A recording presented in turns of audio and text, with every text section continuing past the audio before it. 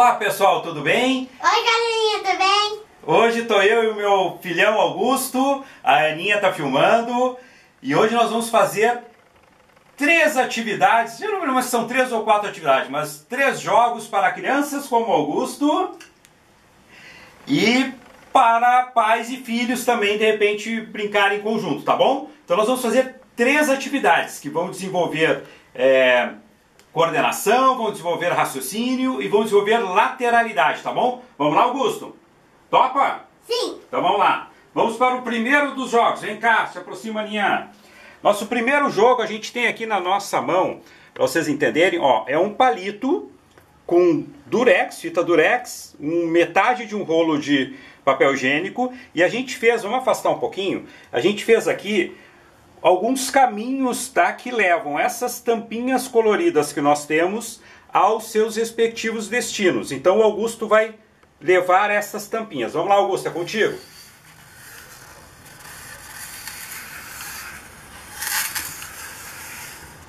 Muito bem.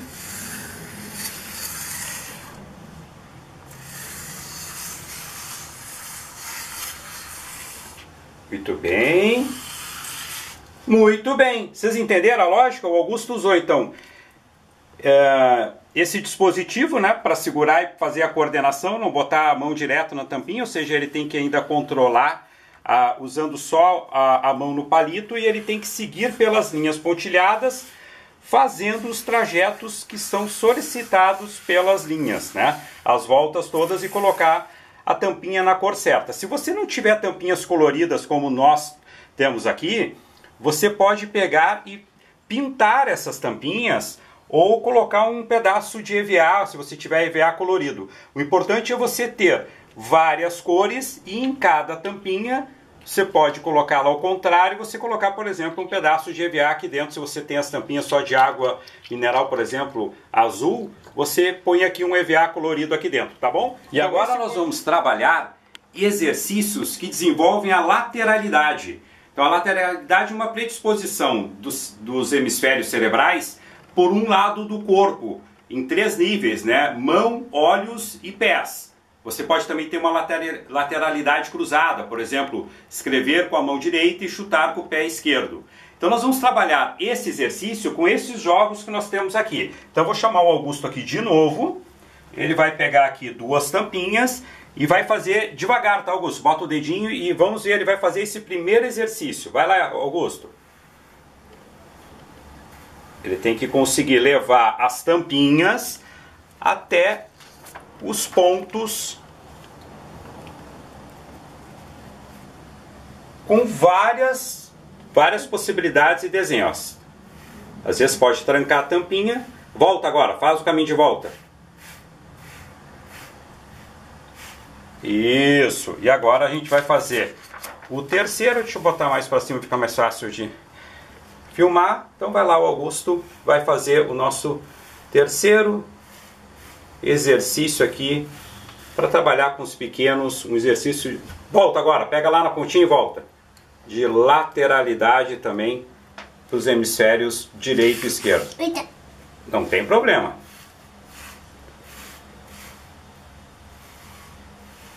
Ó, viram?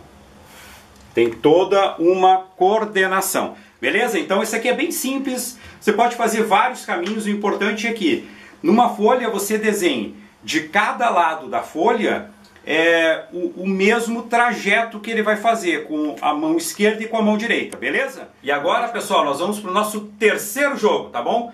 Esse jogo aqui se chama X-Cima, ok? Muito simples, uma folha de papel, você pega uma régua, você traça uma, duas, três, quatro retas, no meu caso aqui essas retas têm 15 centímetros, você pega a tampinha de, uh, de garrafa, para fazer aqui o espaço onde vão ser colocadas as peças.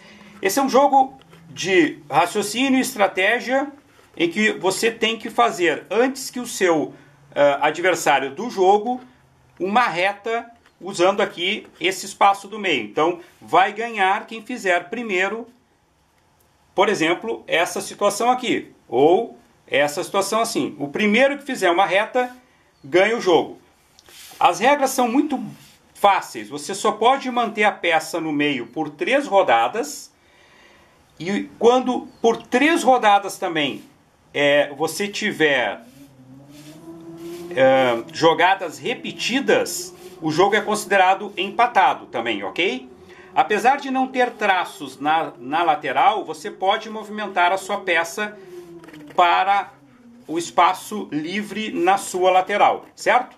Então vamos lá, nós vamos demonstrar aqui rapidamente. Ó, vou botar ela no meio e vou colocar aqui um papel só para saber que ela está uma rodada já ali no meio. Eu vou manter ela ali no meio e eu tenho ela duas rodadas no meio. Eu vou manter no meio e tá três. Agora eu sou obrigado na próxima a tirar. E aí eu vou colocar para cá. E a, o preto ganhou. No caso aqui as tampinhas pretas ganharam. É bem simples, é um jogo rápido, você pode fazer ele com calma e com muita estratégia e raciocínio você fazer uma brincadeira legal em casa. Então bem simples também, uma folha de papel, canetinha e três tampinhas. Beleza, pessoal? Então esperamos ter demonstrado para vocês esses três jogos. O jogo, deixa eu pegar aqui, ó, o jogo que trabalha é, essas atividades de lateralidade, em que você desenha é, do lado direito e esquerdo percursos e a criança, então, como Augusto demonstrou com tampinhas, faz o caminho, pode ser com o próprio dedo, é legal com a tampinha porque você tem um objeto a conduzir com a ponta do dedo. O jogo também que você leva as tampinhas através do tracejado que você construir utilizando um, uh, um objeto que vai transportar as tampinhas e por fim o nosso X-Cima.